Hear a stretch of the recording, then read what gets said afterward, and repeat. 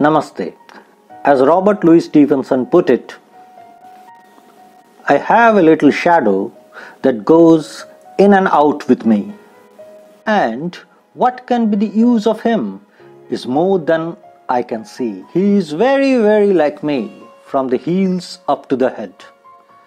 And I see him jump before me when I jump into my bed. The funniest thing about him is the way he likes to grow. Not at all like proper children, which is always very slow. For he sometimes shoots up taller like an Indian rubber ball, and he sometimes gets so little that's none of him at all. Our shadows never leave us, but deeply anchored at our heels, they stretch and shrink not only throughout the day, but also over the year. During a day close to 12 noon, it is the shortest and hovers near our feet, sharp and short. But morning and evening it stretches soft and long, so much so that reaches a place either ahead of us or trails like a lazy self. But watch out! Even at the sharpest noon, it's never zero length, barring two days of the year.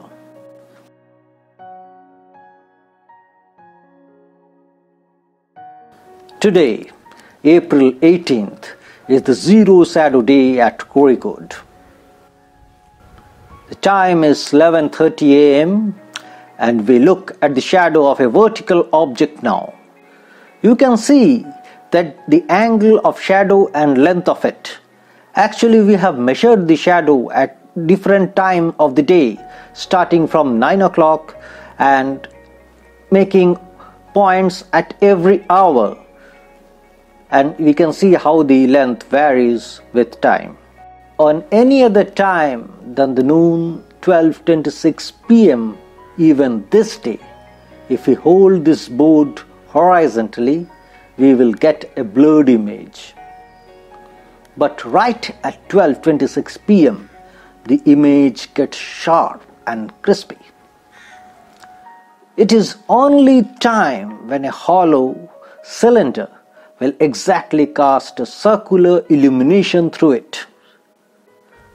Let us get to the field where the action is heating up.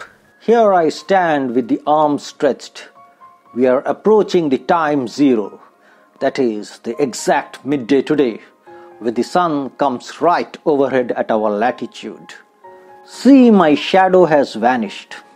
Only when I jump, it is seen below my legs the condition prevails only two minutes, so we need to hurry up for another experiment. We had seen the setup earlier. It did not show any light at the bottom as the sun rays were incident on the cylinder's mouth at an angle. But now we have a nice sharp circular light patch here. It vindicates that the sun at this moment is right overhead. Our vertical gnomon now shows how over the day's time the shadow has rotated and shrunk to produce the zero shadow.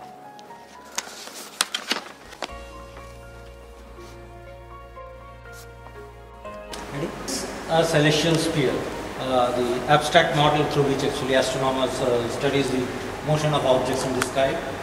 And this is the horizon, observer's horizon, actually where uh, the sky. This is supposed to be the abstract sky where it uh, intersects the uh, horizontal plane. This is the horizon. The apparent path of the sun is here. This is the ecliptic. This is the extended plane of the Earth's equator. So this is the celestial equator. This is the apparent path, ecliptic. Uh, in the sense that as Earth moves in its orbit, uh, the projected image of the sun uh, against the background describes a great circle in the sky and that is called the ecliptic.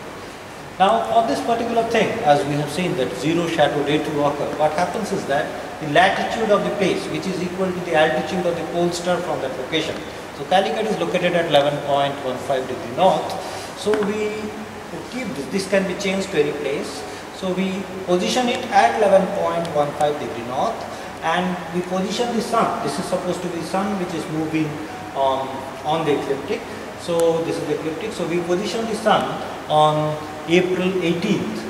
So what happens here? This is the declination, the um, angular separation from the uh, equator to the ecliptic. This shows the declination of the sun as on today, that is on 18th April. This matches with this, and at that point actually the sun is literally overhead. So any object here casts a shadow directly below it.